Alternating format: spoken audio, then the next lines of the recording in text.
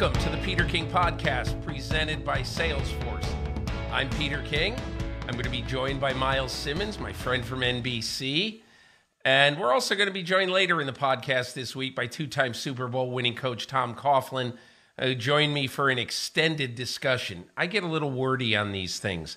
I say, hey, Tom, we're going to do this for 20 minutes. And then 40 minutes later, I said, hey, sorry, kept you too long. But the discussion was really, really interesting. He's got a new book out uh, about uh, the greatest upset of his career and one of the great upsets in NFL history when the Giants beat the Patriots in the Super Bowl 15 years ago and knocked them from the ranks of the 72 Dolphins, which is to say, Patriots weren't undefeated anymore.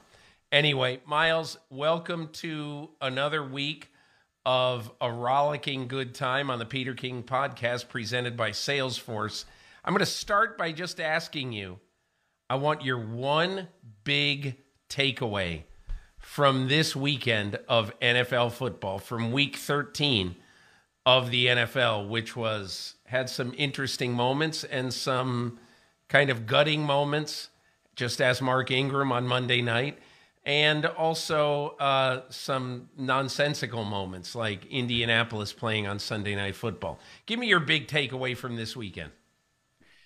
Um, I'll, I'll paraphrase Dick Vermeil and I'll say that I think the 49ers can rally around Brock Purdy and play good football. And I know that it's going to be tough. You're talking about a seventh round pick, Mr. Irrelevant, as he is known for being the last pick of the draft. But when the 49ers are now down to their third string quarterback, it looks like he can go in there and function within the offense and perhaps keep the San Francisco 49ers as Super Bowl contenders.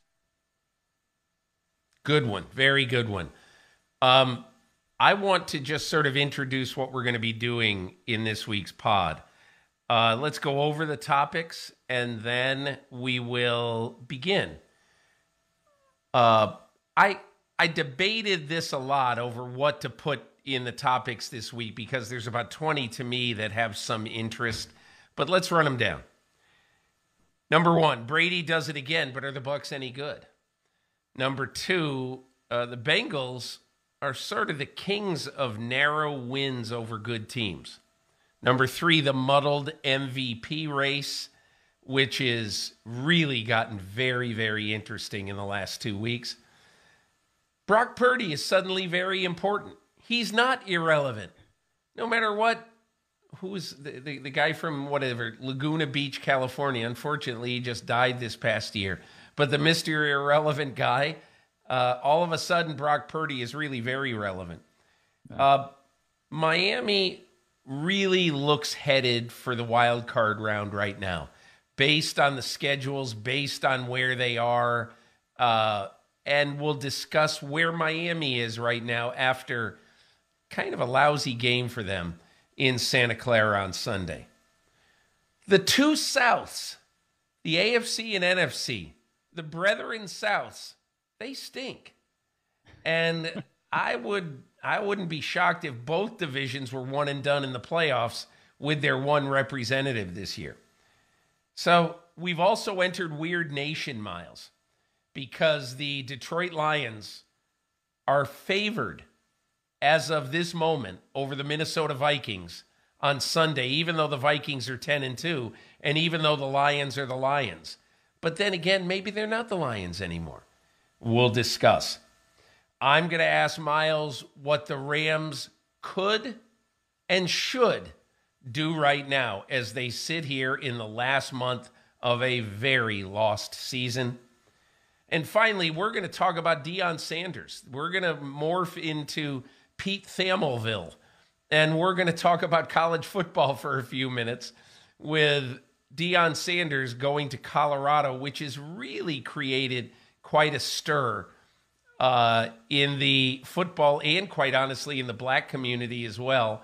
And we'll discuss that and talk about Deion's uh, future, which I think is totally, absolutely fascinating. So, Myles, let's start with the most recent event, which is Tampa Bay winning on Monday night by the skin of Tom Brady's beautifully white, beautiful white teeth. And uh, uh, you think he's had some work done to those teeth? Uh, but anyway, let's talk about uh, about what happened. And I have to tell you, I'll confess, I've just seen the highlights because I was asleep by midway through the first quarter. Uh, both, uh, you know, Sunday night being very late and then traveling west to east uh, on Monday during the day. I, I had a bit of a long winter's nap last night, so I missed most of this game. But I'm going to ask you to tell me exactly what it means and how in the world Tampa Bay did this. Well, look, you didn't miss much. You know, I mean, the last three minutes of the fourth quarter were basically the entire game. I mean, from Mark Ingram stepping out of bounds inexplicably in order to bring up third and one. And then why in the world are they running a pass play on third and one in the New Orleans Saints? I don't quite know, but they did. They didn't get it. They don't get the first down. They have to punt. And then it's Tom Brady time. And how many times have we seen this in the fourth quarter where Tom Brady has his back 44 to be exact. Yes, exactly. I know. They did show the stat last night, didn't they? So it, it's just one of those things where once you give Tom Brady the ball back like that, it starts to feel inevitable. And it was, you know, it was just one of those things where even the left tackle holding on a play where they had a touchdown with about what 15 seconds left, that couldn't stop Tom Brady from doing the Tom Brady thing and throwing the touchdown with three seconds left. So, this is just what happens. And if you have the opportunity to crush Tom Brady, you have to do it. You can't just let him get back into the game because, I mean, at points in the fourth quarter, when the Buccaneers they're punting, Tom Brady looks like he wants to go for it on fourth and 10 in minus territory. And then Todd Bowles ends up saying no, send the punt team out. It ends up being the right decision because, well, the Saints don't execute. Right. So and that gives Tom Brady the opportunity to go down the field and win it two times. So yeah, it was just it was one of those games where Tom Brady is still Tom Brady, and if you don't crush Tom Brady's team when you have the chance, then that's what's going to happen to you. The Rams saw it a few weeks ago, and now the Saints have seen it, and now the Buccaneers have the inside track to being the division winner of the NFC South. So there are two things looking back on this game that I did not watch, but I watched those extended uh, NFL highlights on YouTube, whatever, 11, 12 minutes. And those one is, you know, you talk about Brady not being happy with with punting, but hey, Myles, first play of the fourth quarter, Tampa Bay is down 13 to 3. The Bucks have a fourth and seven mm-hmm. at the New Orleans 40. At the New Orleans 40. Yep. And Todd Bowles punts. I mean, that was utterly, to me, preposterous. And yeah. add to the fact that Jake Camarda, who's had a great rookie year for Tampa, punted the ball in the end zone. Yep. Net plus 20 yards. I mean, I just. It's the second time that's happened I, in the last few know, weeks, look, too. It's, eh, which is just, I mean, it's like, how do you not learn? You got here? Tom Brady as your quarterback, even though he's having a bad day or the offense is having a bad day, however you you term it. I mean, fourth and seven, you're down two scores in the fourth quarter. I mean, come on. That's yeah. I thought that call was utterly preposterous. Okay, yeah. so the one other thing that was very very interesting to me. Okay, so like you know, we talk about what happened with, uh, you know, with with Mark Ingram and stepping out of bounds right before he, uh, you know, he basically was maybe could not have made the first down by putting his, uh, you know, by putting his nose in the in the defender and and going for it, but I was hugely impressed. For those who don't know, okay, so New Orleans is up 16 to 3. There's about five and a half minutes to go. And there's actually six minutes to go. and Dalton throws a little swing pass out to Mark Ingram, and he catches it. and he runs out of bounds at the Bucks 44 yard line. I think he really sort of lost exactly where he was, and he wasn't concentrating on what he needed to do on this play. But he went out of bounds and one yard short of the first down. And what happened was, obviously, as Myles said, you know, in the open, that then Andy Dalton threw an incompletion and uh, Tampa Bay got a punt. You know, New Orleans had to punt, and that led to the first score. What I thought was so interesting that I really, really liked a lot about this is what Mark Ingram tweeted uh, after the game. And he said, and I'm going to read his tweet I'm sick about this one. Regardless of circumstances or how I feel, I have to get that fresh set of downs for the squad. I apologize to my teammates and my coaches and my city for a crucial mistake. We work way too hard and sacrifice blood, sweat, and tears. I will be better. I mean, what do you want out of Mark Ingram? Yeah. That is as good a player apology as I've ever heard. Yeah, it, it's it's taking accountability for sure, and, and, you know he knows exactly what he should be doing in that situation. He's a veteran running back, and I also think it's worth noting that he was dealing with an injury. He's dealing with leg injury, right? So it's not like he was fully yeah. healthy and it, it doesn't change the outcome of the game, but certainly if you make a mistake, one of the things players and coaches talk about all the time is accountability. Are you going to be responsible and take responsibility for the things that you do or don't do? And you know that there's nothing more you could want from Mark Ingram in terms of taking the accountability, but that doesn't really change the result of what the game was, unfortunately. And you still didn't get that first down, and it was still a critical mistake. You know, it's interesting. The uh, Cameron Jordan talked last night after the game. Hmm? You know, the great defensive end of the Saints. One and he said, "Hey, you know, yes. hand it to Tom Brady. Yeah, hand it to Tom Brady. Uh, you know, can't give him the ball twice in the last five minutes. Blah blah blah blah blah. But he did get bailed out by this is Cameron Jordan. But he did get bailed out by a Paulson Adebo pass interference call that gave him the ball at the one and in you know put him in prime position for that first touchdown, uh, the touchdown pass to rookie tight end Cade Otton.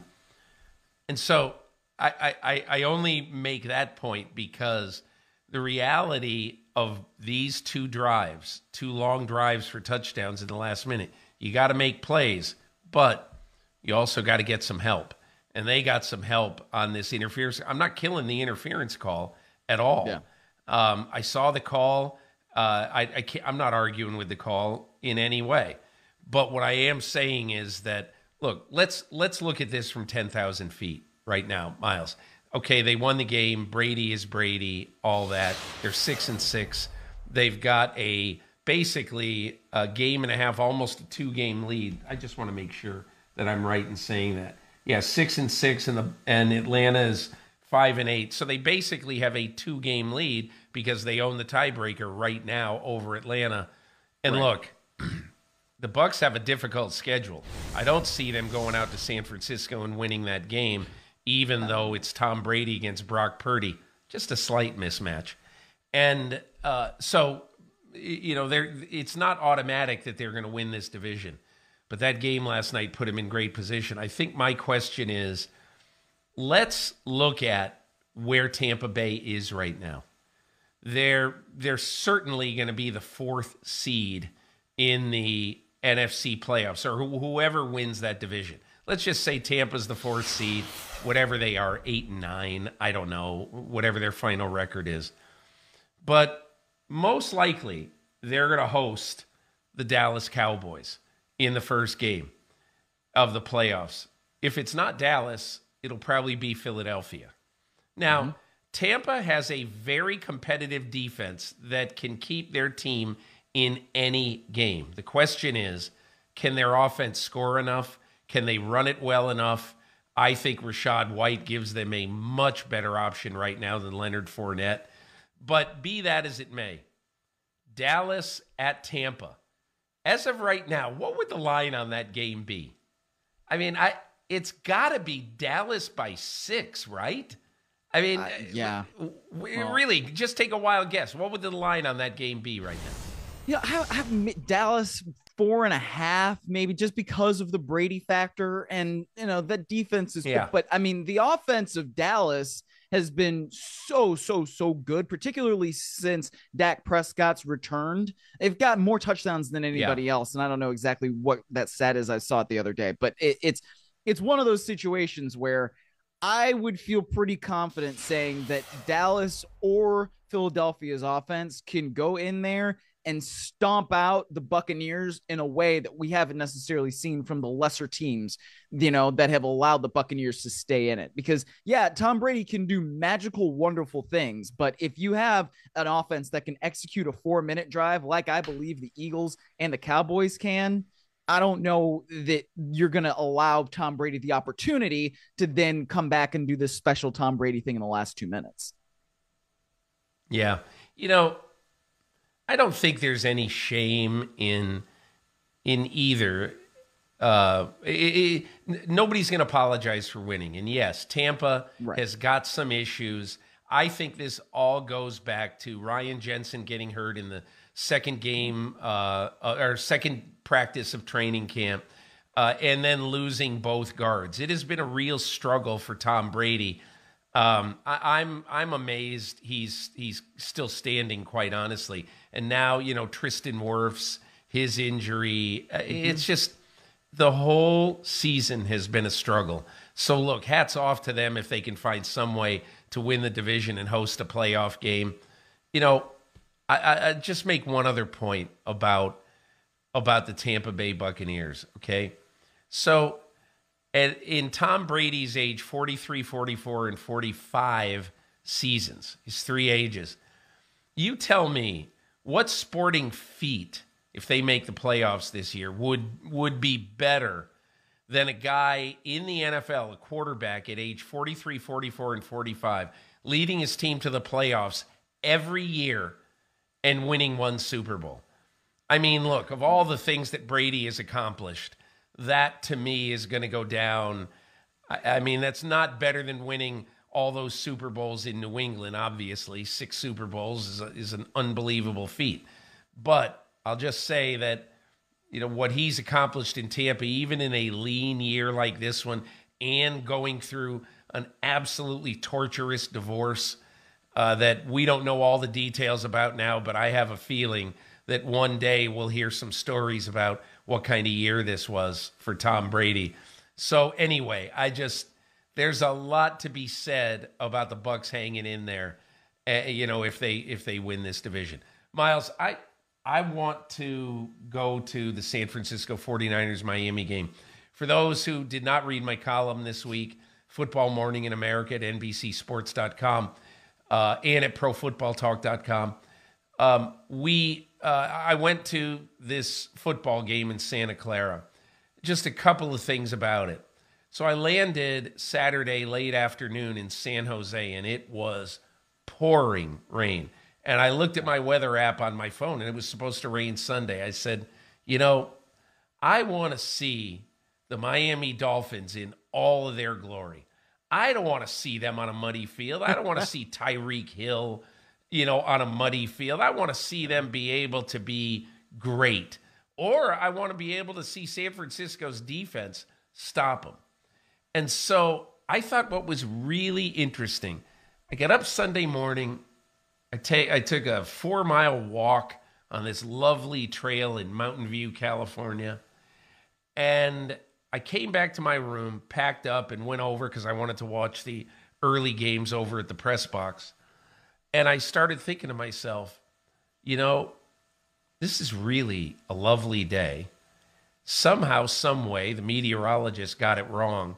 And I said, we are going to see a great football game. And I just was excited because I don't go on the road very much anymore. This is only my fourth game that I've been to this year. And so most of the time I sit in my apartment, uh, watch the games, get on the phone with people. But I was so happy driving over to the stadium because I said, we're going to see a really good game. And on the first play of the game, what do we see? We see uh, Tua Tagovailoa hit Trent Sherfield 10 yards down the right seam, and Sherfield runs the last 65 yards. And the first play of the game, you say, okay, this is what we came to see the explosive mm-hmm. Dolphins. And it's not even Jaylen Waddle or Tyreek Hill. Right. It's Trent Sherfield, the former 49er. Uh, is it was just it was really just amazing. But anyway, so we we we we get through that period and and then Garoppolo goes down.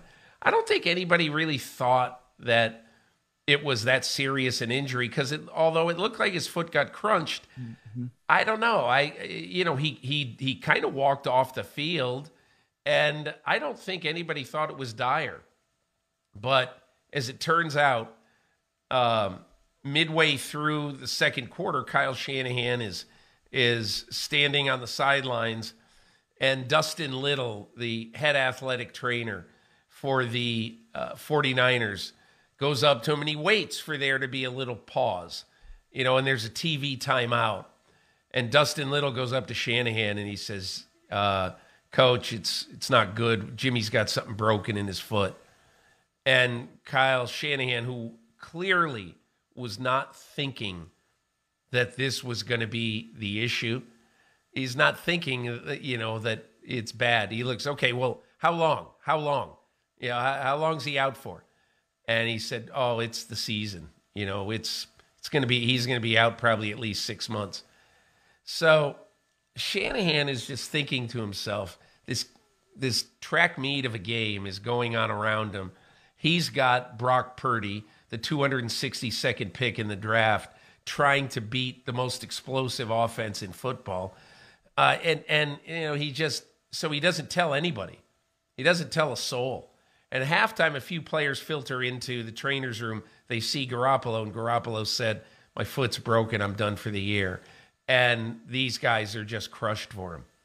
But I just want to tell you one thing that I find so interesting about football players and that is after the game, um, I talked to Aziz Al-Shaair, the linebacker of the 49ers, who is just for an undrafted free agent. This guy is a man out there. He is a sideline to sideline force. 49ers might lose him. He's going to be a free agent this year. I'll tell you one thing I'd want that guy as the nerve center of my defense.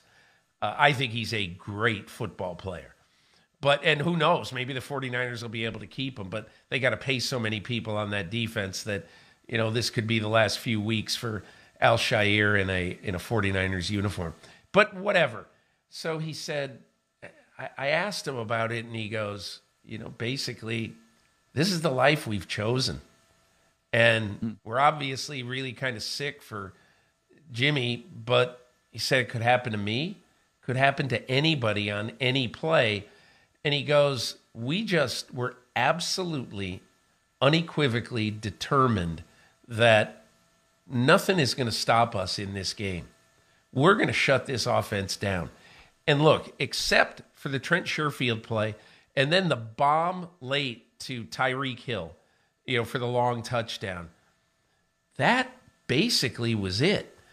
Mm-hmm. I think what the 49ers did in this game is really make Tua Tagovailoa uncomfortable.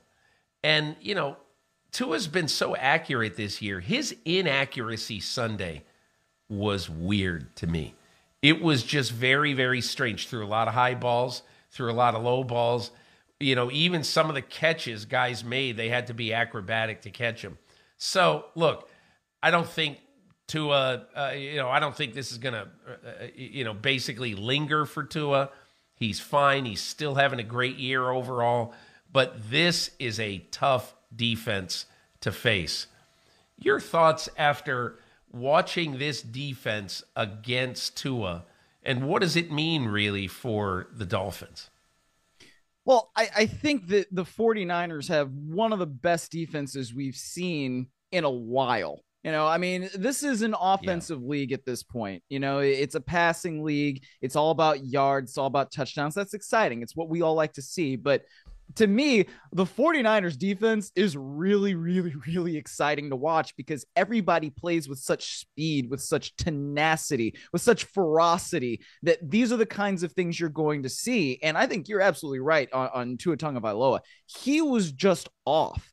And you know, you could watch it and you could yeah. see whether it was the high stuff, the low stuff, and maybe it had to do with the fact that A, you're playing that particular defense, but B, you're playing without both of your starting offensive tackles. That probably is going to affect you in some way if you're a quarterback. Uh, just that's at least the sense that I could get, you know, sitting here in Los Angeles and watching that game up, you know, up the state in the Bay Area. So I think that that's one thing. But, you know, you look at the 49ers in particular and you say, well, if they can do that against that explosive offense, then what exactly can't they do? You know, because yeah, you gave up some right. explosive plays, but that's the Dolphins. They're going to get theirs eventually. Most teams can't do that. So if the 49ers are going to still be contenders, that's why, because that defense is really that good. And, you know, you mentioned that Al-Shaair is going to be a free agent. If DeMeco Ryans is going to be a head coach somewhere next year, yeah. which I mean, why wouldn't he be at this point? I don't know. Obviously, I'm not privy to interviews or anything, but that, that would probably be one of my first moves. Bring that guy in, bring him with me as a free agent because look, I mean, if the way that that defense runs there, you're going to need dudes in order to be playmakers. And, you know, if wherever he goes, that would be one that would be very obvious to me where he should follow. Let's talk for a minute about Brock Purdy. And you're right. I think I think this game did more for DeMeco Ryans' head coaching opportunities than any game he has coached as a defensive coordinator since Robert Saleh left. Yeah. Um, but let's talk about Brock Purdy for a second. So, Myles, I think the fashionable thing to say in the wake of this game is that yeah, the 49ers will probably win the division. They got to beat the Seahawks somehow. The Seahawks just hang on and keep punching teams in the mouth. And they've got a very accurate quarterback uh, who makes some big plays. And, you know, Geno Smith, gosh, I mean, every week where you think, well, Seahawks will fall to earth. And it looked like they started to fall to earth for a while. But but anyway, we'll see. But I, I just I was so impressed with Brock Purdy. The situation he came into, having to play the last 50 minutes of a game that uh, everybody was looking at as the coming out party of the Miami Dolphins, and now Brock Purdy has got to hold the fort. Um, so I met with Purdy after the game, both he and separately, he and Kyle Shanahan, and just give you a couple of observations about Brock Purdy. So he really looks like he's 16 or 17 years old. I mean, I don't think he shaves much. And, you know, he does not look like a quarterback in the NFL. He's kind of got a slight build to him.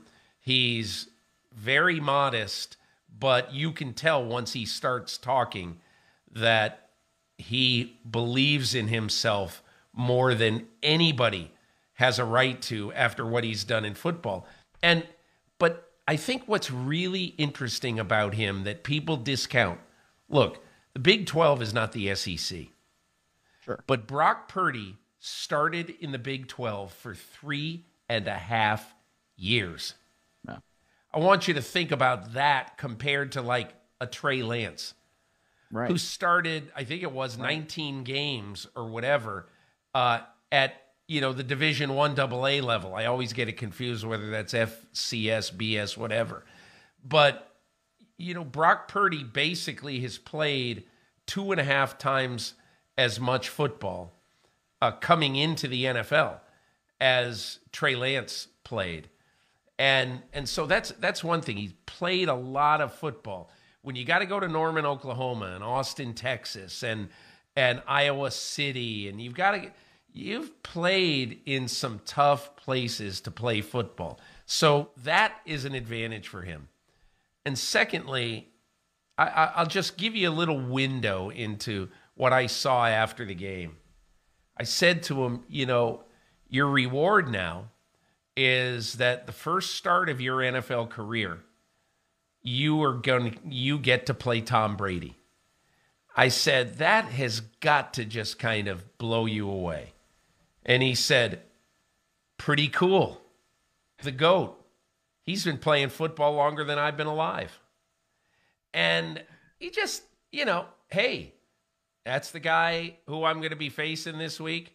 It's fine. I'll show up on Sunday and we'll see what happens.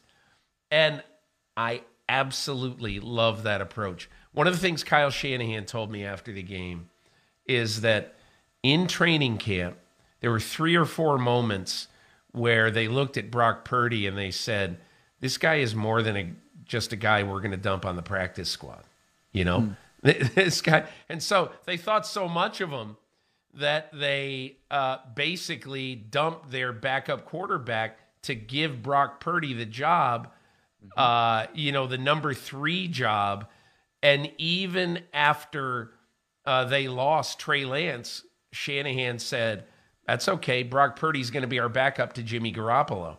So that is what really tells you everything. They're willing, hey, look, no one's going to say Nate Sudfeld is any future John Unitas or anything. But, you know, he was a guy who had played in some games in the NFL, had experience, and basically the the the, the 49ers were willing just to let him go and to give the job to to Brock Purdy. So I'll be honest with you. I I think he's got a chance. I think he's got a chance to be a competitive player with a great defense. And as long as that defense stays healthy, I think they have a chance to fulfill that what they were going to do this year. Look, do I think that Brock Purdy uh, and that team can can waltz into Philadelphia uh, and and win a football game? No, I don't. But I do think that all is is not lost. Um, yeah. I, so we'll see what happens. I think it's I think it's going to be fun. But what do you think the fate of the 49ers is now? Well, I, I think it's tough just because I that defense, like I said, it's so good. And Brock Purdy, for everything that he is not, and you know, the experience factor in the NFL, I, I really do think is something. You know, there's a reason why he lasted until the seventh round. And regardless of how yep. good the system is, and I think Kyle Shanahan's system is one of the best, if not the best in the league there are still some limitations that are going to inherently come through. But I'll, I'll, tell you, the, the most impressive play I thought Brock Purdy made was late in the second quarter. It was third and 10. Miami brings the house on the blitz, and somehow Brock Purdy stands tall in the pocket and he fires through the teeth of that thing and he finds George Kittle over the middle. They get 19 yards and a first down, and they're able to keep that drive going. If Brock Purdy can continuously make plays like that, then that's going to be how the 49ers are going to be able to win games because teams are going to test him as a young quarterback defensively. Can you stand up to everything that we send to you? You know, disguising coverages, doing different things with different blitzes and all that. If he can do those kinds of things and be consistent on third down and make the throw that you have to make, like he did at that point in the game, then the 49ers are going to be okay. I, I, yeah, I agree with you Philadelphia still is at the top of the NFC in my mind. Uh, you know, and the Cowboys, after the way they dismantled the Colts, yes, they're still one of the top NFC teams, but I don't think you can just throw the 49ers out there just because they're starting Brock Purdy.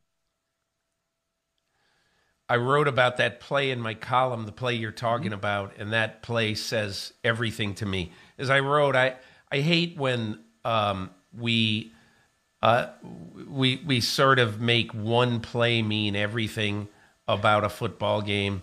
So I'm not a big fan of that. But on that particular play, and people may remember it, they may not. But on that particular play, um, the Miami Dolphins had an eight man front, and they had been pummeling Brock Purdy and rushing and blitzing and making him make some bad throws and having to throw the ball away.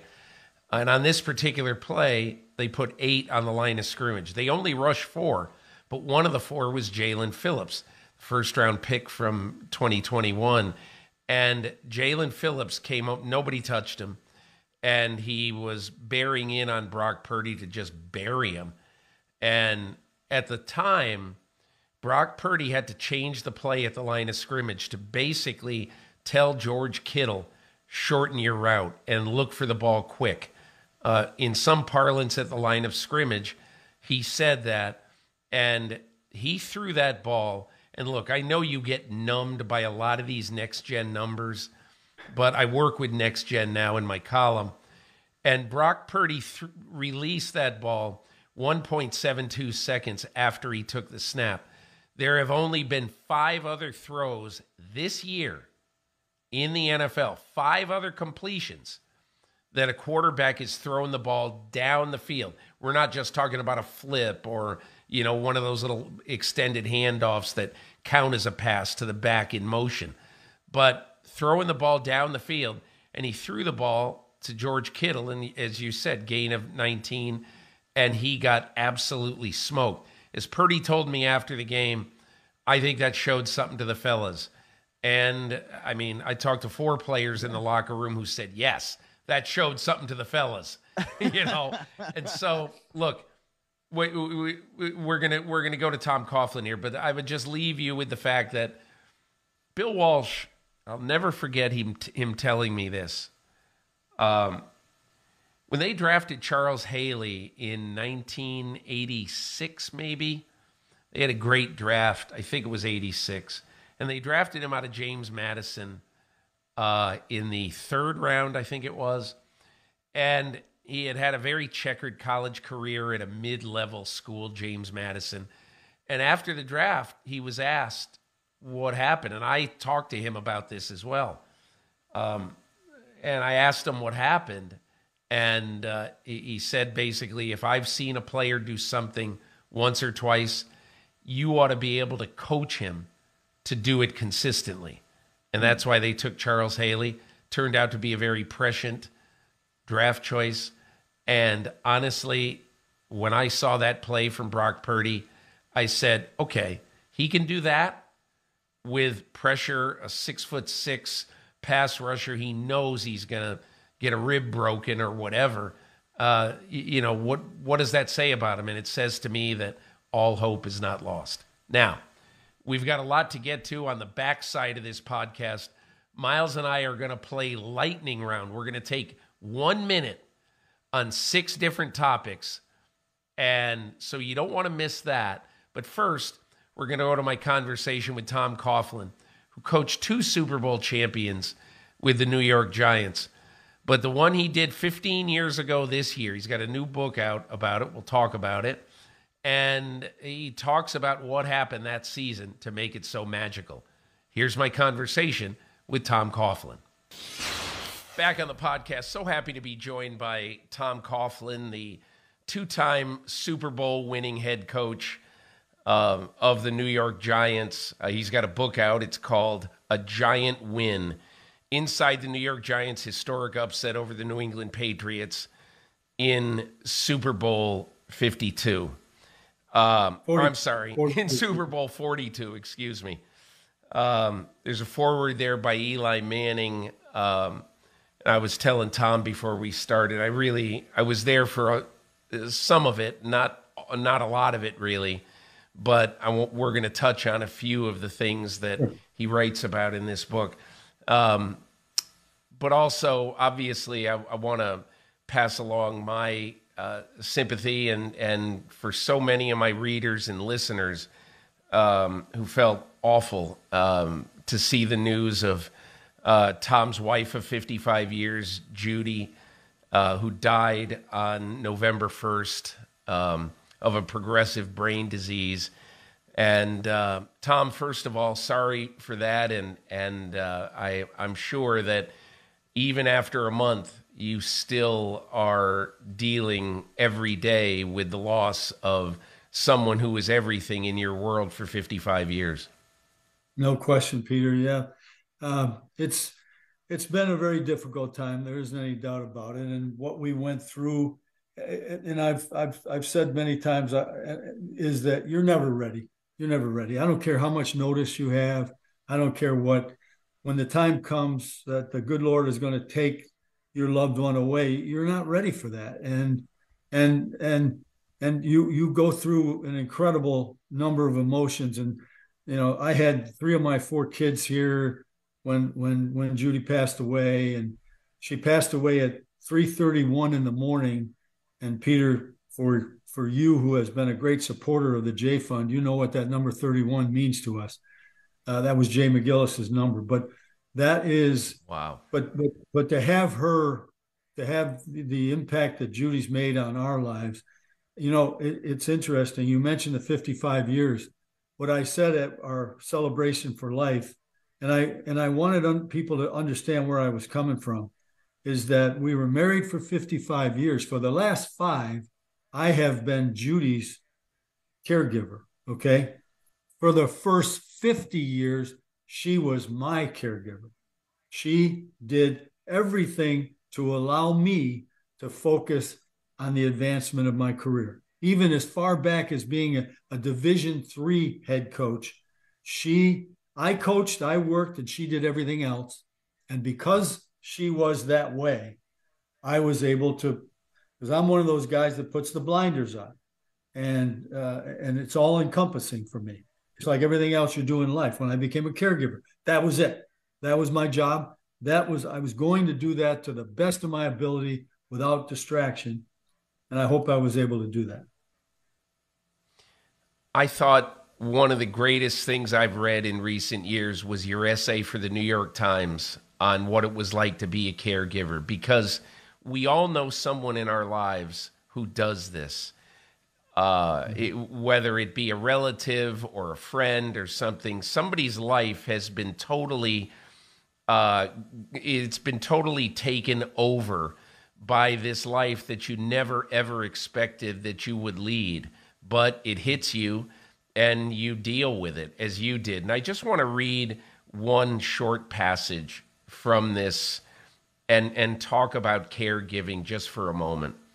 Caregiving is all consuming. It is mentally and physically exhausting. Sometimes you just need a break. When Judy is having a good day, then my day is good. But then there are dark days, these days that are so full of frustration and anger, they have me feeling like a failure and pondering the unfairness of the disease. I've spent my entire life preparing for some of the biggest games a person could play but nothing can prepare you to be a caregiver who has to watch a loved one slip away. The emotion that I felt when I read that was just just because Tom, you know, I've been around you in so many times when you had all the control. I was around yes. you in San Francisco after an incredible playoff win, uh, you know, once, and you were in control of that team. Most people thought you had no business winning that game or winning the game against the Patriots, winning either game against the Patriots, but you had control. In these in this situation, you had zero control uh, other than you know caring for Judy. I, I I guess I would just ask do you think that caregivers in general okay, get appreciated enough for the lives they have to surrender because of the life they have to take care of? Not at all, Peter. Not at all. And that's why, quite frankly, I wrote the article because I thought that I could help others in this situation. And listen, thank God. I mean, I had the wherewithal to have other help too. And there's a there's a lot of people that don't have that. They don't have the wherewithal, the financial ability to surround themselves with others that can help as well. And it, believe me, with with Judy's care, it took two. I was one caregiver, but I had a caregiver. I had someone here, you know, for at least 12 hours a day who to help me with the chores that come with caregiving so that I could feel good about what we were doing. But caregiving is totally all consuming. And you know, people say to you, you got to take care of yourself. And you, after a while, you, you, you know, that sounds self-serving to me. Peter, it's not self-serving. People have to learn how to take care of themselves because if they don't, they cannot be there for their loved one. And it goes, you when mentioning a bad day, that's a bad day mentally. I mean, you feel like you're inept. And I would sit there in the early going and I would say to myself, I'm not good at this. What am I doing here? Why, why am I trying this? Because I, I can't get things done the way I want them to be done. And so you go through that. And then there's a physical part. You know, you you have to, I mean, I've always been, you know me, I've always been somebody that was conditioned once or twice a day. I'd be in the weight room at 515. I'd be cardio work at the end of the day, all that stuff. But you know what? The way you set up your day is completely around the person that you love. So the structure of the day would be six in the morning, literally until eight at night. But there would be a nap in the afternoon. So the nap in the afternoon would be when you think, you know, while Judy was napping, that I could do something. Well, some days you can't do any more than take a nap yourself. And then there's other days where you try to car- cardiovascular work or whatever. I've got some dumbbells in the basement, you know, all that kind of stuff. Guess what? Some days are better than others with regard to that. But you do have to take care of yourself because if you can't perform uh, at the level that that is required now you, have got even more trouble. Now i have i have two of my children that are here in jacksonville and i have two children in new jersey. So i had people loved ones that would come and give a break. I might have a saturday afternoon where i would take two or three hours off and watch you know a college football game or something like that. But the idea of of in the morning if i would look in judy's eyes and she would smile at me and for a while i could get her to say good morning. I would say good morning jude because i always made a big deal about the morning you know put the blinds up turn the, the show turn a, a news show on you know make her feel really important about the start of the day. And if i could get her to smile that was my day that that made the rest of my day i, I was great if I couldn't, now I'm like, oh boy, you know, and, and that would haunt me for the entire day. So it is, it is, uh, the, the article was written to point the message at all those millions of people who are, who go without notice, who are performing a caregiving role out of love for their husband or wife or mother or father, whatever it might be, who go unnoticed to hopefully recognize the contribution they're, that they're making to their loved ones. It was beautifully done, and um, Judy was lucky to have a person like you around her, uh, especially at the end.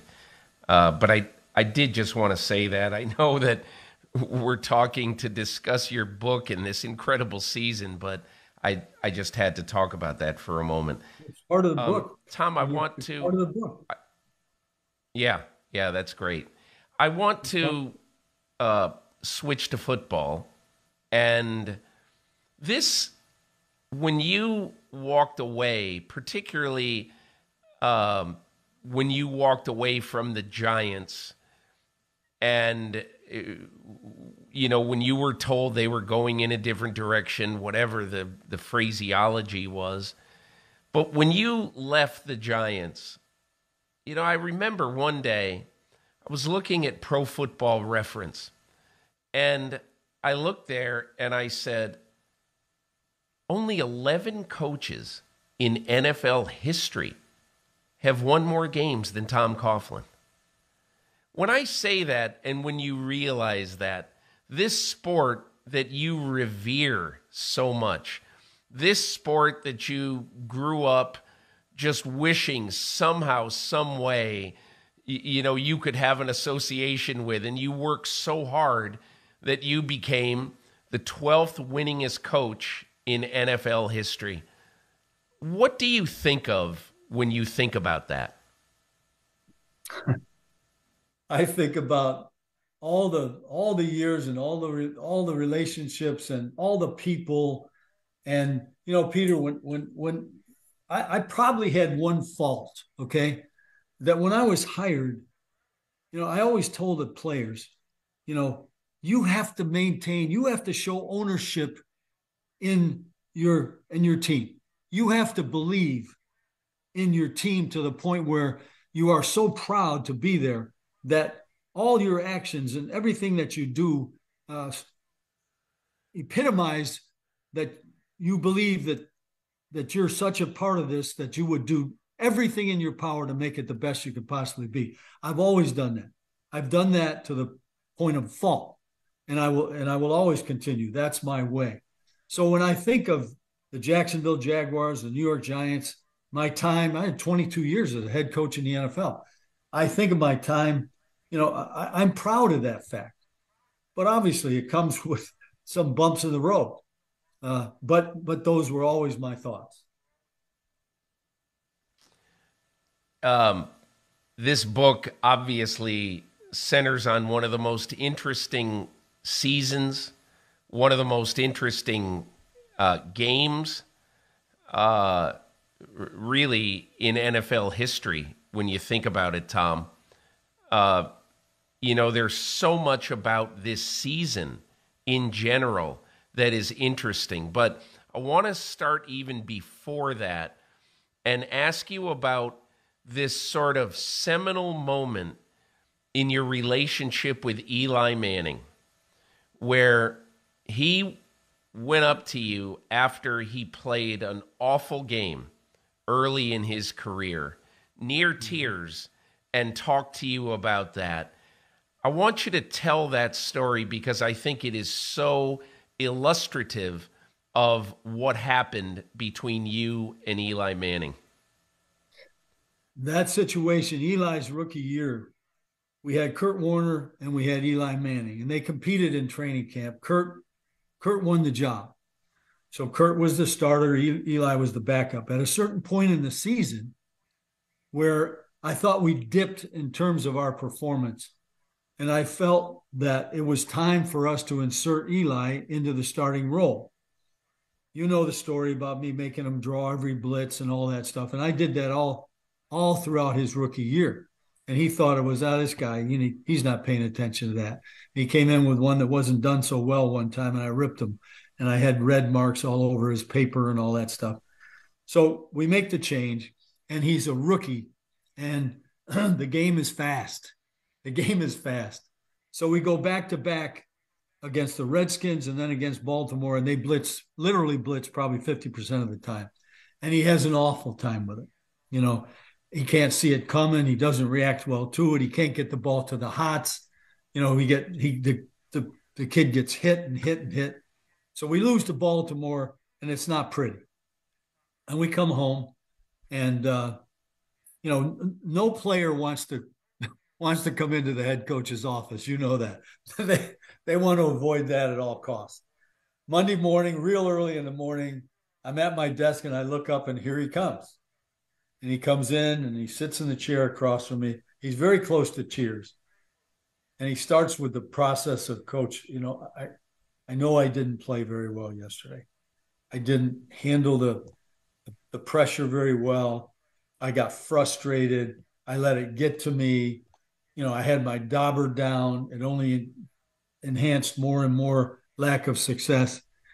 But he but he's he's pretty much got tears in his eye. He said, Coach, I know, I know I can be the quarterback of the New York Giants, and I know we can win. And I'm just, I'm just a listener. You know, I'm now the sponge. Okay. He's telling me from the soul what he believes. I can do this. I can be, I can be the guy. Well, you know, we lost six games in a row when we're transitioning to Eli. But Mr. Mara came in my office right after I made the change and said, You and I think alike. I would have done the same thing.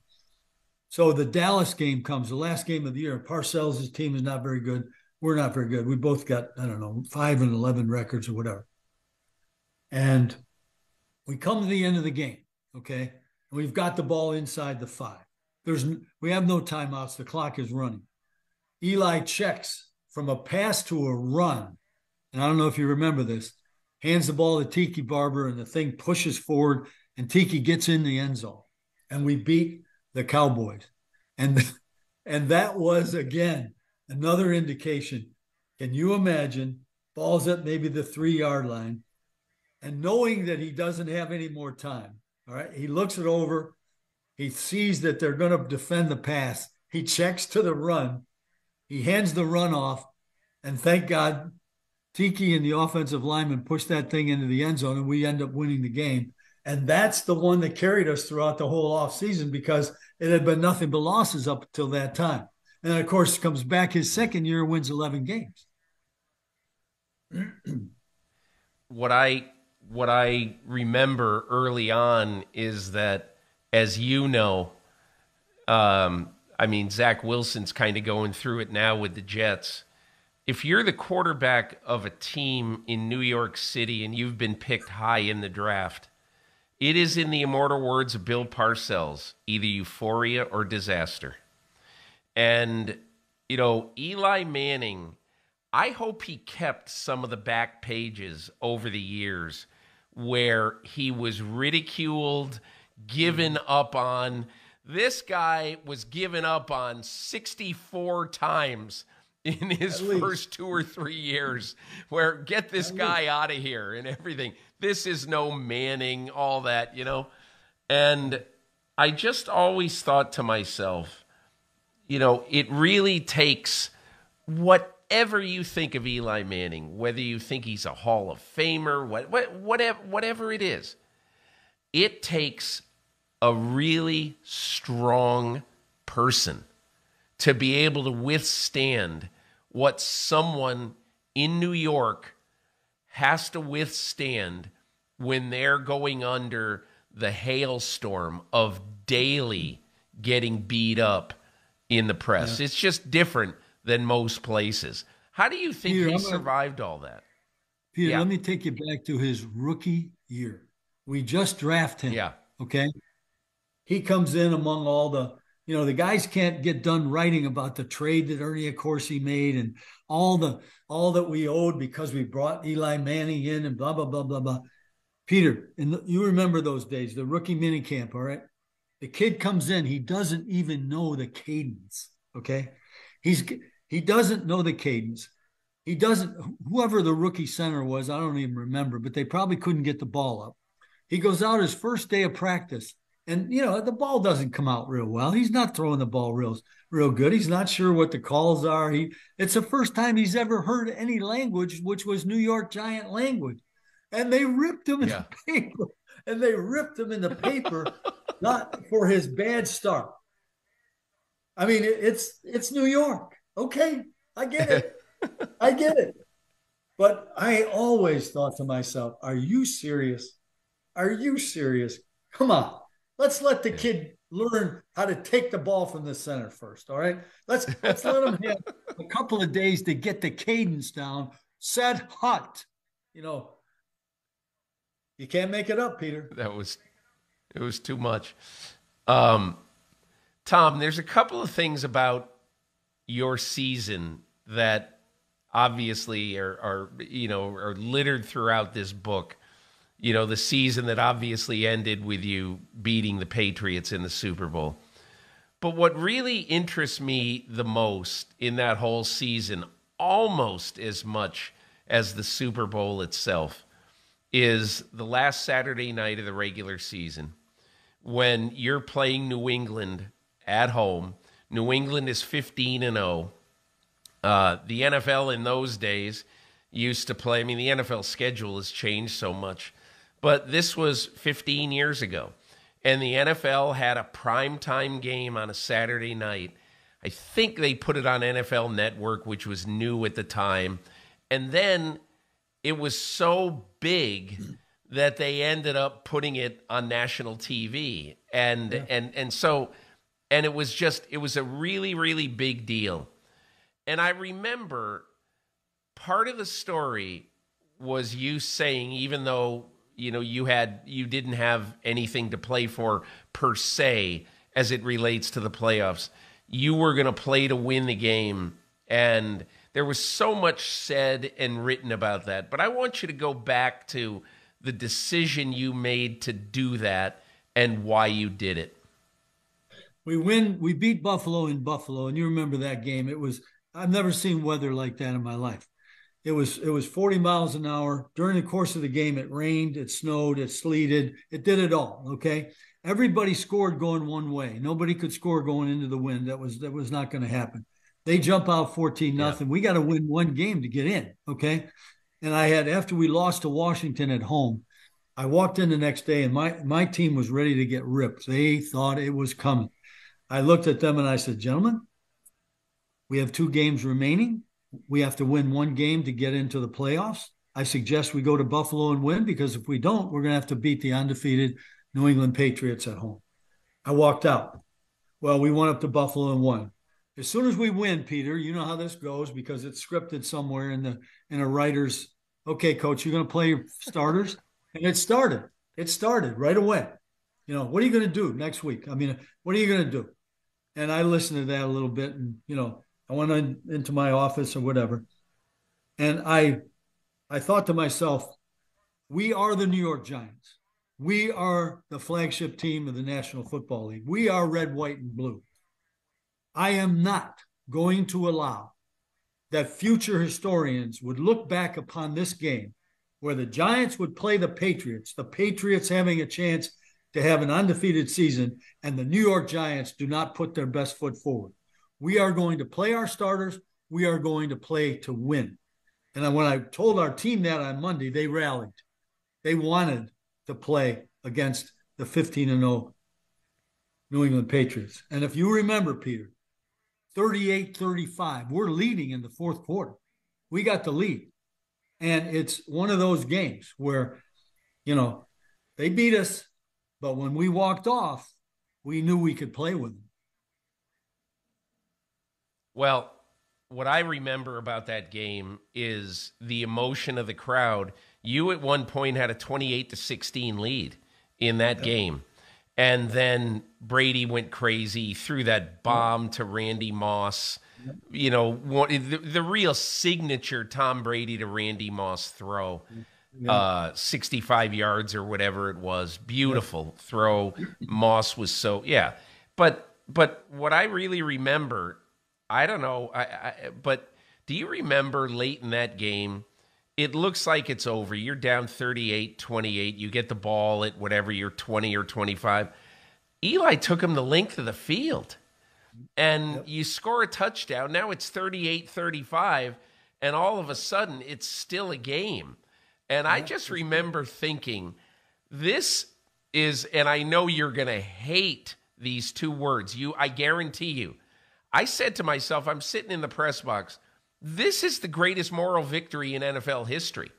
It's an incredible performance yeah. by the New York yeah. Giants against a team that had everything in terms of history to play for. You got the great Belichick, the great Brady, the great Moss on the other side trying to do what, you know, trying to be the Miami Dolphins of 72. And, uh, you know, I, I don't know. When you walked off the field that day, tell me what you were thinking. Well, when I walked off the field, I got to tell you one more story because this is where you're, this is where, this is what will be most meaningful to you. You will remember as soon as I tell you. So we go in and, you know, we lost the game, but, you know, I keep it the way it should be. It was a great performance. I'm really proud of my team. You know, they're the, if that's the world, that's a team that's 16 and 0. We know we can play with them, you know, all that stuff. Next morning at five o'clock, I come into my to my office and I see the red lights on, the voicemail. So I pick up the phone and I, you know, it's John Madden. And John Madden is calling me and he's saying, Tom, I just wanted to call because I want you to know that is the greatest thing that's happened to the NFL in the last 10 years. He said, Wow. National Football League, we don't not play our players. We owe our responsibility to our fans to perform every day. And that's what you did. And I'm just so proud to be a part of that. And I'm so proud of what you've accomplished and what your team has accomplished. He said, I'm very emotional right now. He said, I'm very emotional right now. But I want you to know how I felt. I played it for my team and it was moving, very moving. Wow. That is, I knew he made the call. I didn't realize all, all that he said. Um, Tom, you know, the one other thing, I, I'm going to ask you uh, a, an NFL quiz about that game, which I realized last night when I was figuring out what I was going to talk to you about. And I want you to tell me if you remember. You you score to come within 38-35. There's a minute mm-hmm. 4 left in the game and Lawrence Tynes kicks an onside kick. The Patriots right. recover. Do you remember who recovered for the Patriots? No. Mike Vrabel. Did he? Yeah, well, I don't, yeah. I don't doubt it. I'll tell you something. You got to remember this, Peter. Yeah. That's the greatest scoring team in the history of the National Football League at the time. Okay. And yeah. everybody's looking strictly at the greatest quarterback of all time, surrounded by the team that he was surrounded by, Moss and all of. the defense was fourth in the league. Vrabel. And you put up thir- and you put up 35 on him. yeah. No, I mean just to tell you the quality of the team he had. Yeah. Yeah. Um, you know. I want to I want to ask you about the Super Bowl itself now in the remaining time that we have left. But first, I want to go to your practice on Friday uh, in Arizona. The Super Bowl is yeah. going to be in Arizona. And you obviously uh, are practicing out in Arizona for that week. And as the week goes on, you're not sure that you're going to have Plaxico Burress for that game. And Plaxico Burress is obviously, you know, the key target uh, for Eli Manning. You you might have known that whether he was going to play or not, but still, you had to get your guys ready for the game. But Tom, I want to start before that Friday practice and tell and and go back to a story about David Tyree.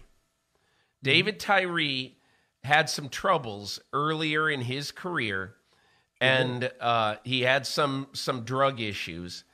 And I think a lot of people felt that even though he was one of the best special teams players in football, that he was not going to have a long career with the New York Giants. Even with his troubles, why did you keep David Tyree around? the story goes this way, okay? One day I'm in my office. It's uh the off season. Ernie Accorsi comes to the door. He's got David Tyree with him. He ushers David Tyree in. He says to me, Do what you will with him. David sits down. He had had an incident with the police where he had a certain amount of marijuana in the trunk of his car. Um, and he was sure he was going to he was going to be fired, Going to be. He started to talk to me and explain, and he was extremely, extremely. He was crying. Okay, he was out of control, crying. He was trying to convince me that he had led a life of this type of thing alcohol, drugs, that type of thing. But that he had changed his ways. And he had become more devout. And he was aware of what he had done. Bob and, and he he was trying to convince me that that he would change. And i listened and he's a david's a syracuse guy and i listened i listened yep and i felt without saying much that i would I would give him a chance. I would give him a chance to prove to me that he had changed. And so when he left my office, he was still a giant. He was he was convinced he was gone when Ernie brought him down. But we kept him. And you know the quality of the player that he was. He had he and Jeff Feagles were the the incredible twosome that punted the ball down like you made a fair catch, caught the ball inside the 10 on a punt, and start the opponent inside the 10 kind of thing but he was on all special teams. He was very physical. We used him on short yardage because he could he was physical and could block.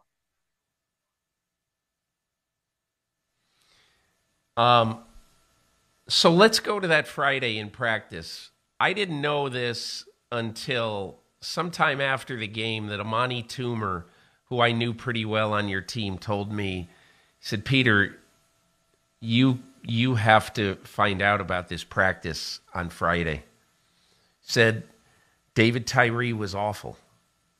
Said he he he had a very hard time catching the ball. You just need to ask around uh, about exactly what happened. And sure enough, I asked around.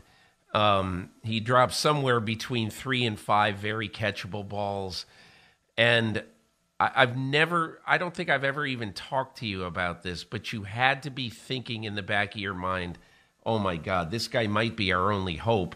I, I, I mean, are we going to even call a play to throw him the ball? Tell me what you saw in that Friday practice. Well, he had a terrible practice.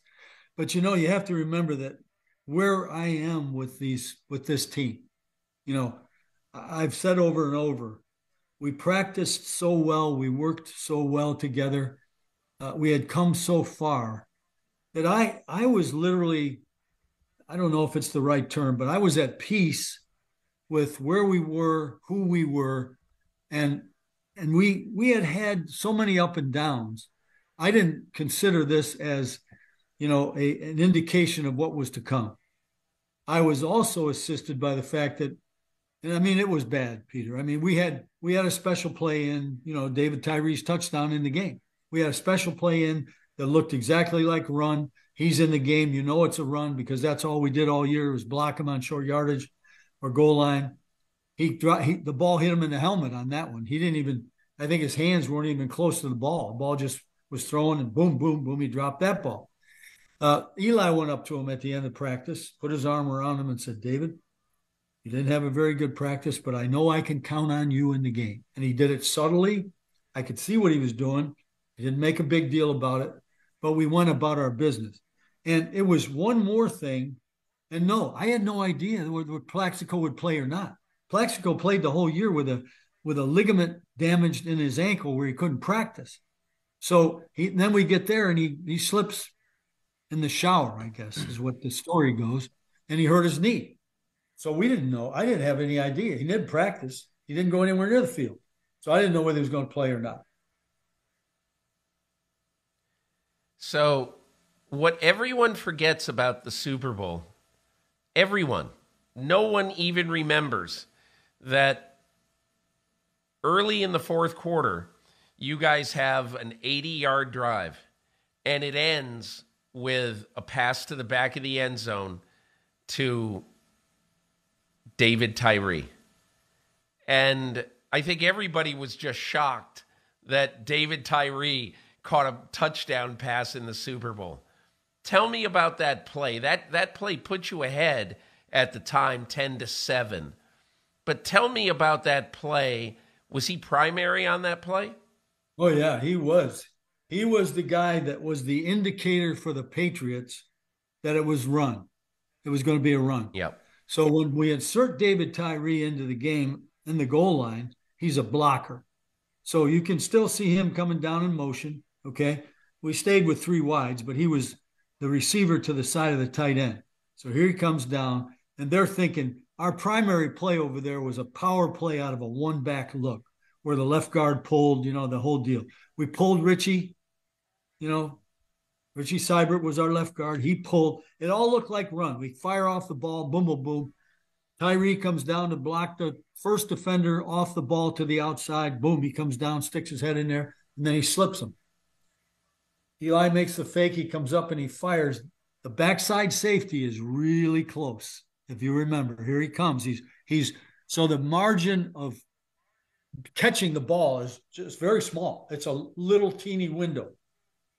David flips his hands up and catches it like he'd been doing it all his life and had practiced like a superhuman on Friday or whatever. And we that's our score. that's our score. Yeah. Yeah. Um, we take the lead with that, and then they come as you yep, know. You took, boom, here they come. Yeah, they come back. Uh, Randy Moss uh, catches a touchdown pass, and now you've got the ball with 2:42 left in the fourth quarter. You're down. It's only the biggest game you've ever coached in your life. And I wonder, as that series is going on, what's your what's your thought about what you can do to try to get the ball in the end zone about the uh, against these guys against this excellent defense? Well, I, we had had success, although it wasn't a lot, with different types of plays. Remember, you hit Kevin Boss on the on the play action flag route for the biggest play of the game. Yeah. You know, Steve Smith has made a great contribution throughout the course of the game. You know, Plaxico didn't have much, but he controlled that other side of the field where they had two people, you know, for him every time. Amani had made had made plays uh, to get us in that spot. So we we still felt like, you know, we couldn't we couldn't just run the ball. Obviously, we weren't going to end up with enough time, but we felt that we could throw the ball and we could make plays, and this was our chance. And it was the it was the Strahan Strahan story from the sideline. Remember, Strahan went to the offensive lineman. One drive to be world champions. Believe it, and it will happen. I mean, that's his exact quote. So when they came on the field, you know, we had throughout the course. You have to remember, Peter, the Fox experts, no one picked us to win any game in that whole drive to the Super Bowl. Not Tampa, not Dallas, not Green Bay, and certainly not the Patriots. No game of any of those people, and we were, it was a Fox game, no game was picked for us to win. We had been against all odds the entire time. Dallas beat us twice, we beat them. Green Bay, you know, minus 24 degrees, Plaxico and Eli looked like it was 75. Ball was flying all over the field. He, he was making plays all over the place. So we had the belief in ourselves.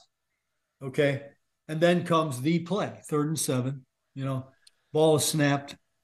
You've got Eli's being harassed or grabbed by three different defenders on all three sides. And he's almost right where right in front of me.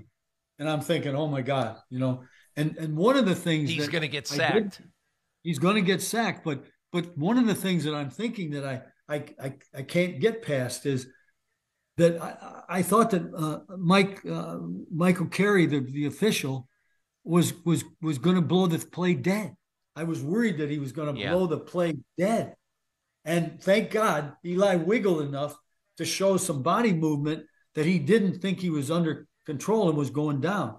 And then you see Eli shoot up. You see David going to the post and he comes back. Okay. And then you see the ball in the air and you're going, oh my God, don't don't throw an errant ball down the middle of the field because that's going to be picked. And that's the story of the game. David Tyree comes back to the ball. He's got one of the greatest safeties in the game on him who weighs more than, you know, probably 20 pounds more than than uh, than David Tyree weighs. David. David yep. Tyree goes up in the air. Harrison right all over him. He catches the football, pins it to the side of his hat. And what people really don't, they don't give enough credit for that catch because Rodney strips the his one of his hands away from his, you know, from holding the ball. Now he's got it in just one hand. Okay.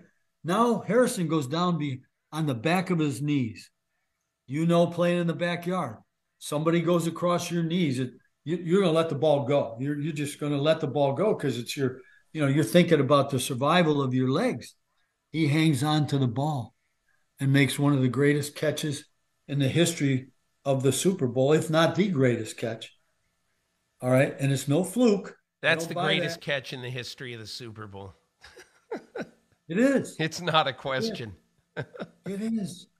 And, you know, now we're, you know, I take a timeout because we're gonna, you know, the whole thing that follows. Great play by a kid who I remember. You know, the, the other thing is David Tyree lost his mother during the season, and you, I don't know if you remember this. Two games he missed. A Saturday night, right? Saturday night, in a meeting, we come out of. They had to get him out of the meeting. Then when I came out of the meeting, uh, there he is over in the corner with trying to be consoled. He's he's out of control and he and his mother were so tight, so tight. They had become born again together. They had uh, used drugs together, you know. So to David Tyree, this was an incredible blow. But he overcame that as well. You know, Tom, one of the most incredible little factoids that I bet everyone who listens to this their jaw will drop some will know, but not many. That helmet catch is the last ball that David Tyree caught in his NFL career. It is. He never caught another ball. And, no. you know, it, and look, you want to go out on top, that is going That's out on way. top yeah. right there, yeah. you know? Yes, but is. I always, I, I really always thought that was so, what was so interesting about that is after that play, there was such an emotional wave in that stadium, you know, in that game. Nobody could believe what they had just seen. But there's a minute left in the game now, and you still yeah. have to beat the almighty Patriots. That's so, right. I mean, you know, you've got to, the emotion of that moment, you almost have to say, hey, forget that. Okay, we made the play. Now we're at the whatever, the 24, 25 yard line, and we got to get the last 25 yards. Yeah, so, still got to score. What do you remember right down right down the stretch and about what you wanted to, what you guys wanted to call, and what your thoughts were about what would work? Well, we we we we fast forwarded to something that had been good for us throughout the course of the day, which was uh, the little ball to to uh, Steve Smith. So that yeah. was our thinking was that we could move the ball. And we also were aware of the fact that what really happened on the touchdown play was going to come eventually. And when we left the huddle on that play, Eli said to Plaxico, if they come with a blitz and leave you one on one out there, I'm coming to you. So Plax knew it. They both went out over the ball. And as they looked at it, you could see how it was developing and how it was, where it was going to come from. And of course, the blitz came from the right side Okay. And you remember Brandon Jacobs sliding over there, picking it up. Eli had time. And when Plax made that fake, that the the, the slant fake, and then came out, Hobbs kind of sat down, thinking he'd have to drive on the slant. And then Plaxico went up, and Plaxico was wide open, you know, got behind him. Eli threw it up in the air. And I from where I'm standing, I'm going, is that ball ever coming down? You know, because it was up, up, up, up. and Eli and, and Plaxico turned around and he caught the ball like this, you know, like this in his chest. Plax, don't drop this ball. You know, sometimes you're mesmerized, you're so open. Here it comes. But that was that was the story. And it wasn't over. There was 35 seconds left for for for the greatest quarterback of all time. And he fired two rockets down the hash that we thank God to Moss that we were able to defend. And so we Tom, you had a long life in foot. I was just going to say, no. Jay Alford knocked Brady ahead, on his it. butt too. He knocked Brady on his butt, and that shows you Brady.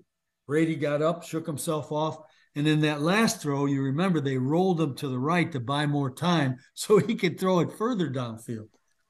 My lord, wow. he's throwing the ball 60 yards in the air.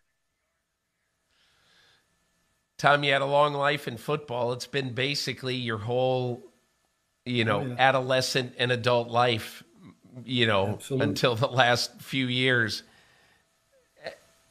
Where does this game rank in your football experiences in your life? The, the one thing you have to understand, Peter, is that when you get to the top of the mountain, and my my speech to my team on Saturday night before the Super Bowl is why I really wanted them to win is because when you win, everybody who helped you along the way is a world champion. And you share that mom and dad, wife, children, brothers and sisters, siblings, coaches that helped you along the way. Everybody's a world champion. And it's a wonderful feeling to be able to extend your arms around all of those who love you and have been there to support you and are with you at the top of the mountain. So that makes Super Bowl 42 for me, you know, a, a wonderful feeling. And, and along the way, Peter, there's there's a ton of, you know, in 93 when I was at Boston College and we beat Notre Dame that was number 1 out there, 41-39. In 96 when we make the playoffs with an 8 and 8 record in Jacksonville, and we beat Denver and beat Elway out there. They if if we don't beat them, they win three in a row out there.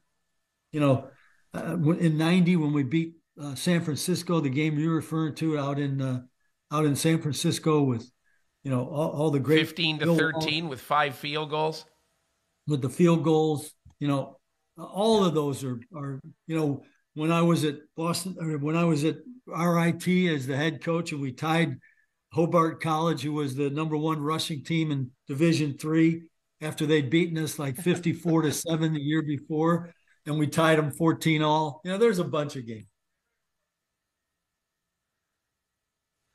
Uh, Tom, over the years, over the last 15 years, have you ever had occasion at whatever event you might have been at together to have a conversation with Bill Belichick about this game? No, never.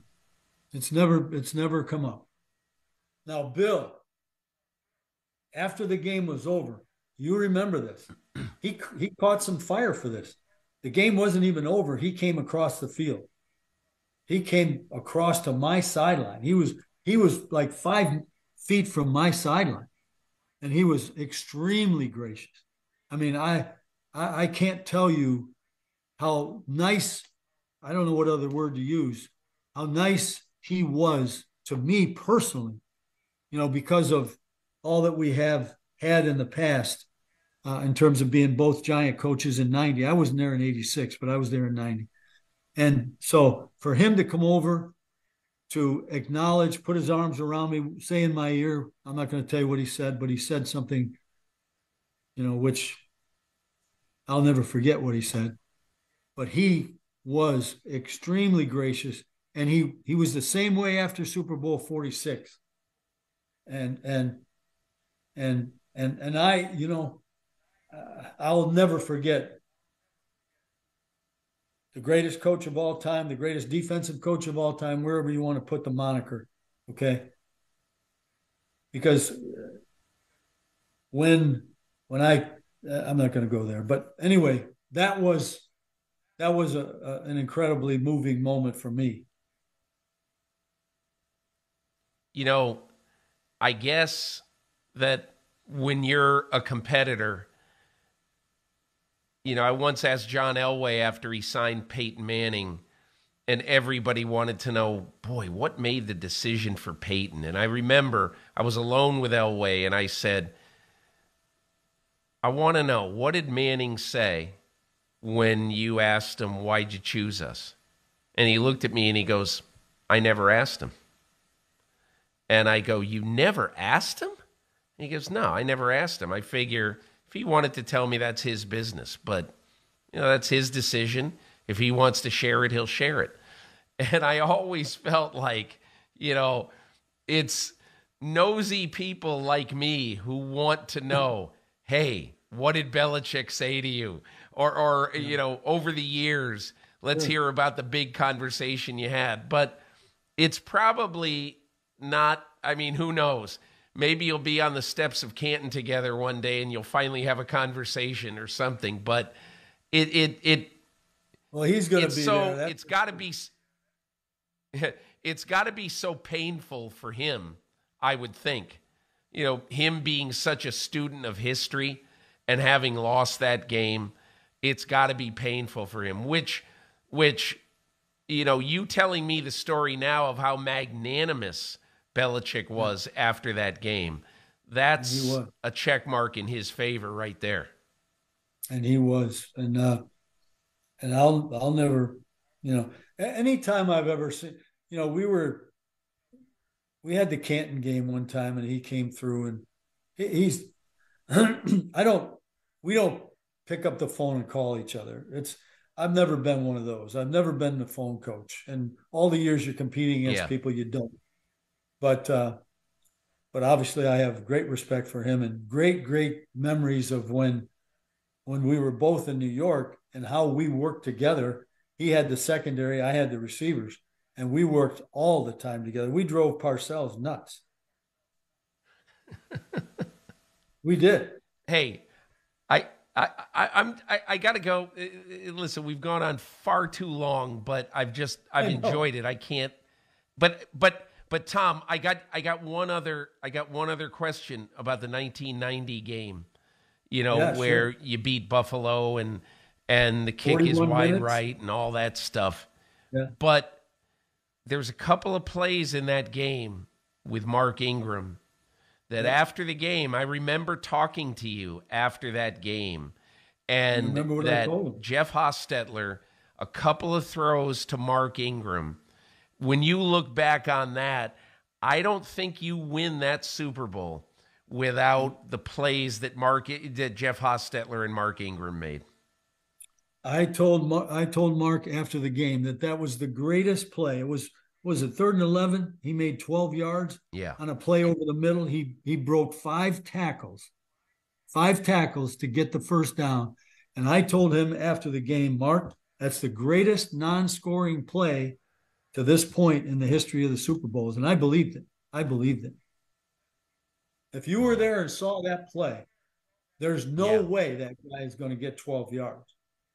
There's no way. Yeah. And then Stephen Baker up in the Yeah. corner of the end zone catching the flag route for a touchdown, you know, Yeah. and us holding the ball for The touchdown minutes. maker. The defense, the defense, the defense. I know you possessed the ball for 41 minutes against the great 41 Bills. minutes. 41 minutes. And and but the firepower of that that team, Jim Kelly and those they're you know, they're all in the Hall of Fame for God's sake. The firepower Yeah. of that team incredible. You know. I'll always think that Marv Levy should have called one more play with eight seconds left, but that's a story for another podcast. Yeah, it is. Tom Coughlin, um, I really appreciate you taking all the time. I've only monopolized your life uh, far too long uh, and much longer than I said I would. Uh, but I wish you the best with your book, Tom Coughlin, written with Greg Hanlon.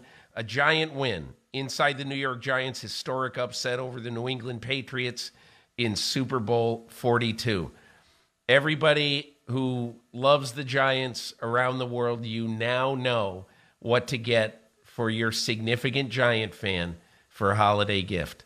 Tom Coughlin, thanks a lot. Thank you, Peter.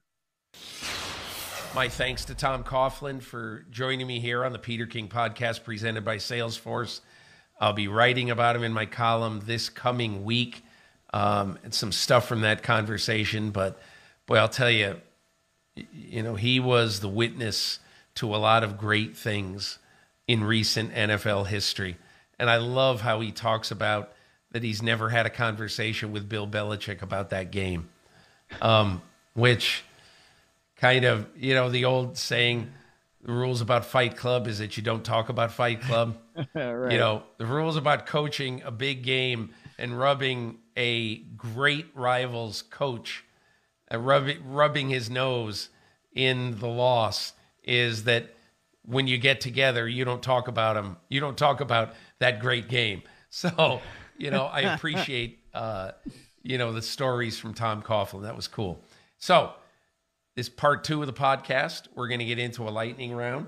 I've got my little stopwatch right here on my phone, and we are going to use the stopwatch.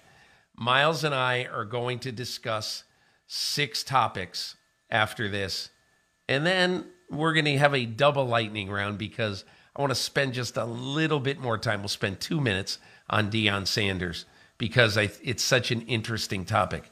So, uh, our topics for the lightning round will be the MVP discussion, the Bengals and Joe Burrow, the badness of both South divisions, Detroit being favored over 10 and 2 Minnesota. I'm going to ask Myles to give me 51 seconds on how he'd fix the Rams. And then we're going to discuss Deion Sanders to Colorado. All right, Myles, you ready to go? Let's do it. Okay. All right, lightning round. MVP. I've got Mahomes and Hurts very, very close with Joe Burrow breathing down their necks. Give me your pick and why. I'd say Jalen Hurts for this week with the caveat that knowing Mahomes' schedule over the last few weeks, I think that he might separate himself, but it's just the way that Philadelphia's offense is so adaptable. I mean, one week we see them run for the most yards that they've had since 1948, and then the next you see Jalen Hurts throw the ball all over the place to DeVonta Smith and AJ Brown. So this week I'd say Jalen Hurts, but I know that that's going to change. The final thing I would say is watch out for Josh Allen. He's got some big games down the stretch. He's had a little bit of a trough in his season, but we will see. Eh, end of the first round. Number two, Bengals, Joe Burrow. So, Myles, I did not see this game. But the one thing I would say about the Bengals now is that in this calendar year, they're 5 and 0 against the team that was the one seed last year and the team that entered this year, this weekend, as the one seed in the AFC. 3 0 against Kansas City, 2 0 against the Tennessee Titans. How dangerous are these Bengals? Very dangerous, and they're playing with a lot of confidence, and they should be playing with that much confidence. I mean, you know, we can talk about uh, Jalen Hurts and Patrick Mahomes as MVP candidates, but I think you're right that Joe Burrow is breathing down their necks. They're getting healthier. Joe Mixon may be back this week, and that second to last week of the season where they're going to play the Buffalo Bills in Cincinnati on Monday night. That's going to be a huge game. Uh, okay. The trouble of the two Souths. Ugh. Tennessee Fire has lost three sun. out of four. Yeah, Tennessee has lost three out of four. There's nobody else in that division. But I think the one thing I would say that would worry me about Tennessee this team's averaging 18 points a game. Mm-hmm. How in the world are you going to be able to win enough? You can't ask your defense every game against really good offenses in January. You can't ask them to hold teams to 10 and 13 points. They they have got to accelerate the learning curve of Treylon Burks right now. Hope he's not hurt after the huge shot he took on Sunday in Philadelphia, but I don't think that route was a fluke in Philly. Tell me about the Souths and in particular your thought on the Tennessee Titans. Yeah, I, the problem with the Tennessee Titans is that they're not getting Derrick Henry to the second level of defenses in the last couple of weeks. They couldn't do it against Cincinnati. They really couldn't do it against Philadelphia either. And if that happens, then that gives teams the opportunity to build a lead against that team. And it's really, really hard for the Titans to come back from behind just because they're not built for that. And there's only so much you can do when you don't have a good enough receiving corps. So I think you're right. As, hopefully, uh, that's okay. the end of that. Okay. Detroit favored by one point over the Minnesota Vikings. Now, the game is in Detroit, and who knows? The line will probably change three times before Sunday. That right. is startling to me. But you look at the way the Lions are playing, especially Jared Goff. Myles kind of looks like the keeper now. It looks like yeah. the Lions are not going to have to use that Ram pick to go get a quarterback, but we'll see. But Amon-Ra St. Brown has been great, and they're four and one in their last five. Does this line shock you, or is it justified? I think it's a little surprising, but not shocking. Look, that offense has been as good as any offense in the league. If you look at it over the course of what it's done all season, two defenses that are not very good. I think it's interesting that Dan Campbell was saying this is why you get into coaching this kind of week. They're trying, he's making it as big as it is, as opposed to coaches who try not to make it bigger than what it is. So it is a big game, and we'll see if Detroit's for real. Aaron. I gave you six extra seconds. Okay, Myles, I'm going to give you the next 51 seconds to tell me how you would fix the three and nine Los Angeles Rams. Okay, this is something that's off the wall, and by the time this comes out, it's going to be irrelevant. But I would claim Baker Mayfield and see what he can do over the last four weeks of the season because you don't know what's going to happen with Matthew Stafford next year. Spinal contusion and you know being in and out of the concussion protocol, it's something that I think could affect the way Matthew Stafford makes decisions going forward. So you need to figure out what you're going to do at the quarterback position. And then you're going to have to flip your second and third round picks into more picks. Fortunately, they are at the top of the round, or they're going to be at the top of the round in the second and third round. You're going to be able to flip those things, hopefully, for more picks and get as many shots at the dartboard as possible. And then also fix the offensive line like the Cincinnati Bengals did last year and like the Kansas City Chiefs did the year before. Total overhaul there. Excellent points. All right, Myles. Gone five minutes on those five topics. We're going to go a little bit longer on this topic, and I'm really interested because I I didn't really think of Deion Sanders to Colorado as controversial, but I think many people in the media and some people in the public really do. As people know about what Deion Sanders has been doing, he's been the coach at Jackson State for three years. Uh, he just had the, I think I'm right in saying, the first undefeated season in Jackson State history, and they've had some pretty glorious seasons, uh, you know, at that mid level of Division One AA or whatever, again, whatever it's called. But uh, you know, he's really turned the program around. He's made it exciting to be a Jackson State Tigers fan, and I think as far as the people who love HBCUs and historically black college football. He has made it very, very relevant and kind of cool to be an HBCU fan. So I've noticed in the last two or three days since he got this job on Sunday that there's a lot of people who are angry about it, some of whom believe that Deion Sanders should stay at an HBCU school because he is helping revive the prospects of some of these programs. And there are others who say, you would leave. Okay, we understand that, but Colorado? I mean, is that the program you want to leave for? Is on the bottom of the Pac 12 and, and blah, blah, blah. So I want to hear your thoughts about, and again, I'm going a lot on Twitter and a lot on kind of wild opinions of people who believe that okay, I understand Deion going, but to Colorado, and you know, there's also some sentiment he's abandoning the HBCUs. So, what's your thought about Deion going to Colorado?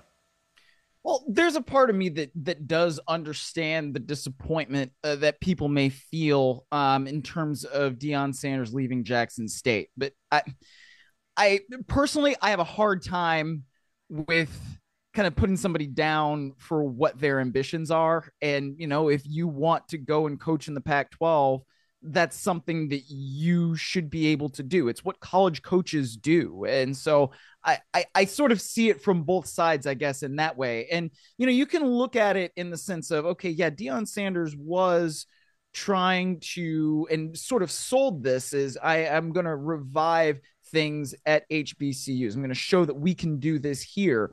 And in some ways, that legacy is still there. There are things that are still set up for Jackson State to succeed.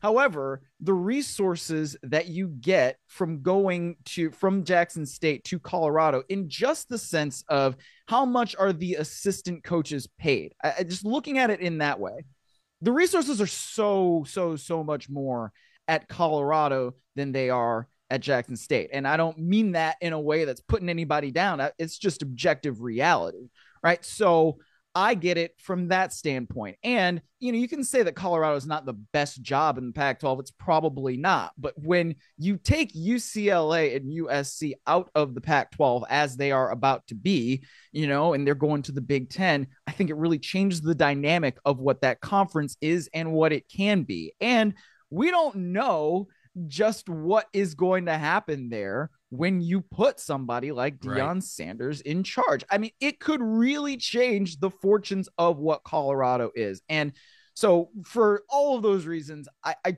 totally understand why Deion Sanders is doing what he's doing. And I think that it makes Colorado one of the most interesting college football programs to watch over the next couple of years because I don't I don't know exactly what they're going to do to measure success at Colorado, you know, in terms of what it's been and what it could be and who Deion Sanders is and all that. But it's going to be fascinating to see how it plays out. Do you think going to Colorado is ultimately beneficial for other black coaches? Oh, that's a good question. Um, I I don't know. Um, maybe the ones that are on his staff because they're associated with him, and if they turn that program into a successful program, then you would think that they're going to get more opportunities elsewhere. Um, but you know, it, it's almost like NFL ownership where they have to be comfortable with who it is that they're hiring in the yeah. first place, and that doesn't necessarily, I mean, just one being successful or having successful coaches on your staff doesn't necessarily mean that anybody else is going to do it. I mean, this is kind of the conversation we were having about Jerry Jones last week, right? I mean, it, it's, he says it's who you know, and that's sort of saying the quiet part out loud. And so when you have these systemic yeah. hiring practices, it's not going to change based on just one person. So, I mean, uh, you'd like to think so, but uh, in reality, I, I, I kind of don't. I think I think the whole thing is really interesting because obviously I'm about as white a person as there is and I grew up in white bread America. I went to college at Ohio University, which is you know predominantly a white school. Um, and you know, so I don't know. And look, I've worked in this business for a long time, for 42 years but I don't know really, and it's hard for me to judge the those who say that Deion Sanders uh, that this is an act of betrayal. I just I find it very hard to believe that in the United States of America, when a person is going to better himself and is going to better the lives of apparently of quite a few people who work with him on his coaching staff. And who knows, the other support people, I don't I have no idea how college football works and whether you take X number of people with you. I don't know that. But I do think that people need to step back, take a deep breath, and understand that this is Deion Sanders' life. You know, he he he doesn't have to just because you think he should, he doesn't have to stay at coaching at a program for whatever reason it would be, for any length of time. He's free to go. And rather than think Deion Sanders is a traitor, um, you know, to the to whoever, you know, to to other black people, to black players, black whatever it is, I, the way I look at it is, look, he did great things at Jackson State, great things. He never promised anybody that he was going to stay there for 20 years or that he was going to become the Eddie Robinson, uh, Eddie Robinson the second of black college football. He didn't do that. I mean, let's just let's be happy for a guy who uh, worked his rear end off and did a great job at that school, and now is probably going to shake up the balance of power at some level of the maybe not at the Alabama and and Georgia and Clemson level of college football, but maybe that next step down. And you know, Myles, I just have this strong feeling. I think within two years, Colorado's going to be in the top 10. I just do. I don't know if they're ever going to be in the top four or whatever this playoff system is going to be, but I think Deion Sanders is going to really shake things up in Division One football. And I look, I'm not a big college football watcher at all, but I'm really going to be interested in this, and I'm going to be watching a lot of it, and I might even read those re- idiotic recruiting stories that said, "I wonder what what what number class." Colorado is going to have on rivals.com this year or something. But and I just think it's interesting. And I think we ought to, if this is the United States of America, we ought to let a man do what he wants to do. And good for, I say good for Deion.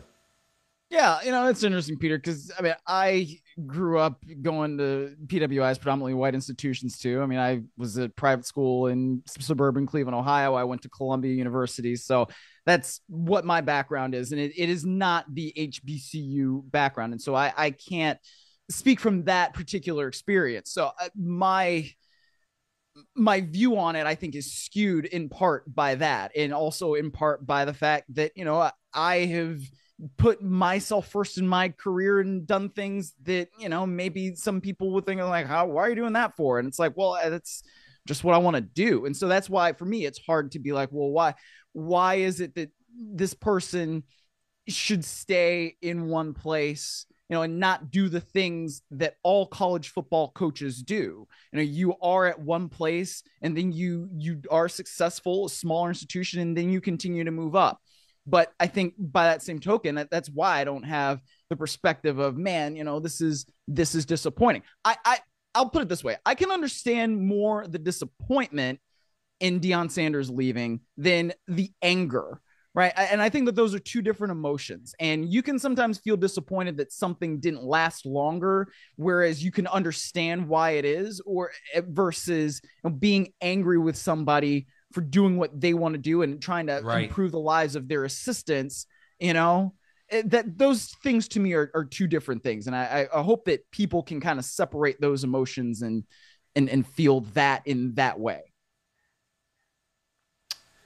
So that's our podcast for this week. We had some fun.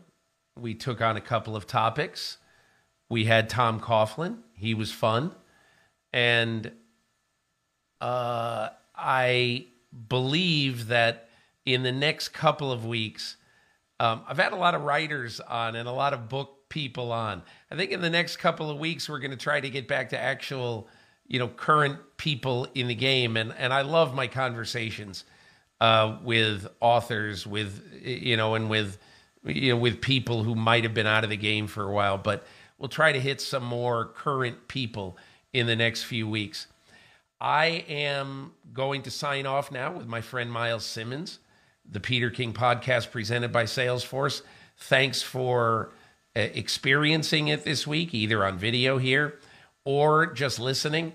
And again, we've gone way too long. One final note last week I said, if you made it to the end and you listened to the in- entire podcast, I'm going to give you a free lifetime subscription to the thing.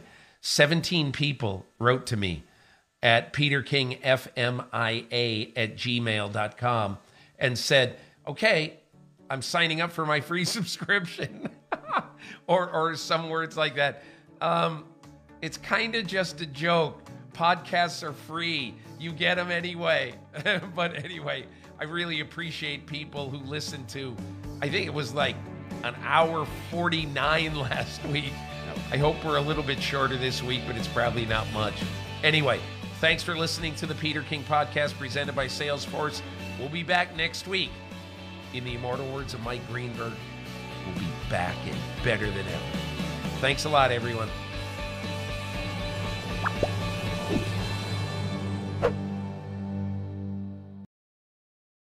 Hi, I'm Mike Tirico, and thanks for watching.